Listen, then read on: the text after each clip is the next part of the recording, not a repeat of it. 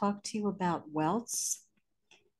These are welts that you see here. There are actually 13 individual ones in this Stephen West majestic mountain pattern. This is a saddle shoulder. It's almost like an epaulette. So that's the collar. And on one shoulder, you have all of these individual welts. And I'm just beginning to work on the other side. I'm going to show you how you achieve these welts. So I happen to have 17 stitches on my needle. And I'm just using my ChiaoGoo points without the cord. I have enough cords going on here. I've knit the requisite number of rows, and now this is going to get turned under and connected with these. Let me show you how I've been achieving that. This is the point of the needle that I'm working on. So I want to orient this point in the same direction. This is a thinner needle than the one that I'm knitting on. So it facilitates picking up these stitches. And what I'm going to do is pick up 17 stitches along a single row.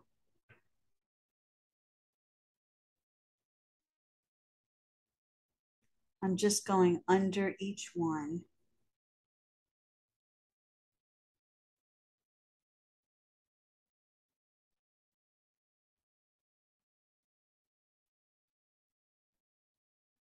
One at a time.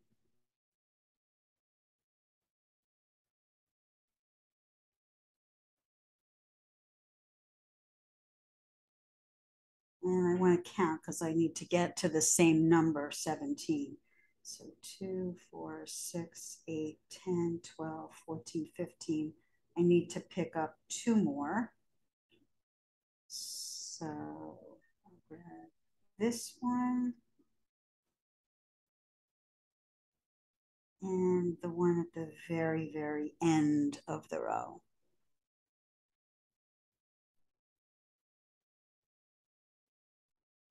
Then I'm going to pinch these two needles together.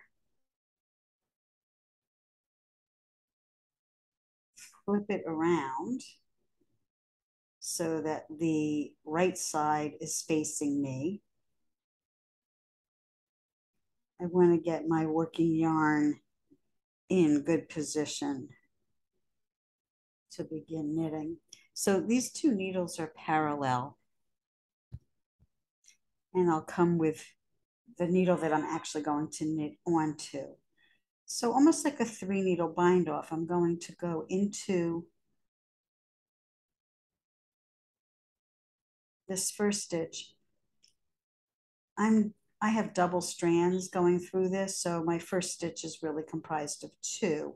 The first stitch is really the hardest because everything is sort of wobbling around. So I'm going through the front loop of this one, through the back loop of that because I put the stitches on twisted. So now I have my needle through those two stitches. I'm going to pick up my working yarn, pass it through the back loop, pass it through the front loop, and slip it off both needles. Don't worry, I'm going to show you that again. The first stitch is really the sloppiest because everything is flopping around. So again, that's through the front stitch, through the back of the back stitch, grab my yarn, pull it through, and pull it through that one too. So here it is. I'm going to slip it off the front needle and slip it off the back needle. Again, through here, through there, grab my yarn, pull it through, pull it through, and slip those off.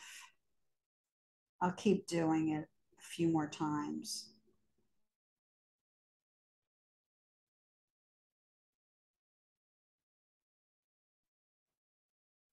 Slip it off that needle, slip it off that through the front, through the second needle, grab my yarn, pull it through, pull it through, and now just carefully slip it off the front needle and slip it off the back needle. You start to develop a rhythm after you've done a couple hundred of these. Let me work across the rest of the row and show you how it looks.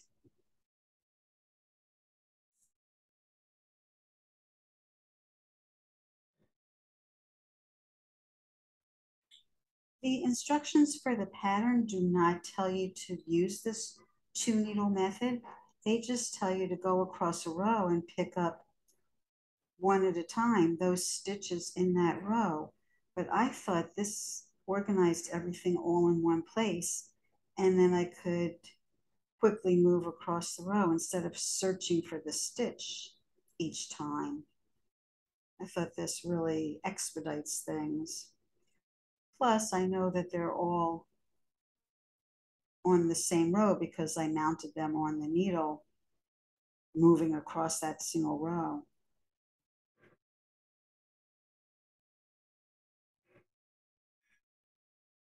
And at this point, I just checked to make sure I've got three on each needle. Good. So I didn't drop anything and I didn't cast on the wrong number on that back needle.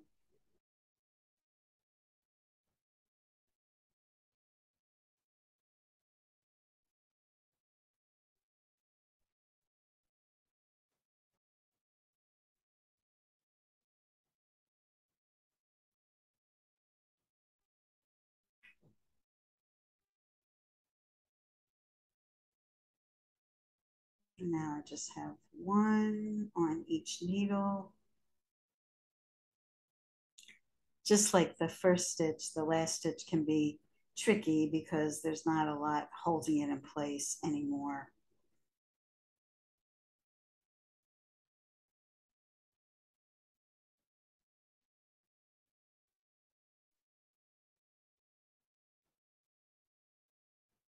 Okay, now I can remove both of those needles. And there I've created a third welt. Welts can be used on cuffs if you have a sleeve and you want to put a, a decorative cuff on it. It can be used in all different kinds of ways. This is the first time I've seen them used as epaulets going across the shoulder. This is what the back, the underneath side looks like. So it's very smooth, should be very comfortable for the wearer.